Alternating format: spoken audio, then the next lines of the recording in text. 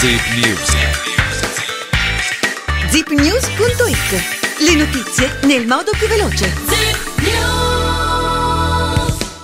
Buongiorno dalla redazione sportiva in studio Mariangela Salvalaggio, pareggio per i Granata al Grande Torino contro l'Empoli nel posticipo della quindicesima giornata di Serie A, un 2-2 condizionato dall'espulsione di Singo con il toro rimontato di due reti dai toscani. Nella giornata in cui a mezzanotte si festeggiavano i 115 anni del club, il bicchiere è mezzo pieno, Granata avanti con Pobega e Piacca, dopo l'espulsione di Singo si fanno però raggiungere da Romagnoli e La Mantia.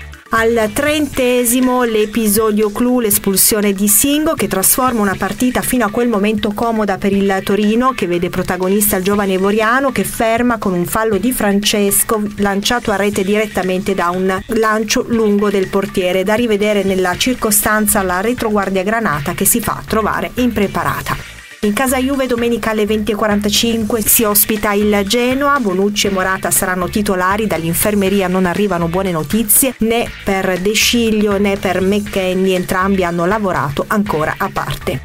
Bonucci dovrebbe tornare accanto a Delict, sempre più leader in campo e in difesa, mentre a centrocampo Bentancur potrebbe dar seguito all'ultima buona prestazione accanto a Locatelli. Un 4-2-3-1 è largo ai giovani. Vanno all'asta i trofei vinti dall'Auxilium Basket Torino. La società è fallita nel 2019. Il 25 dicembre sul sito della casa Sant'Agostino Aste in vendita coppe, medaglie e targhe. Si partirà da una base di 50 euro.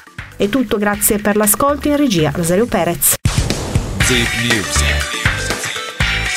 zipnews.it Le notizie nel modo più veloce. Zip News.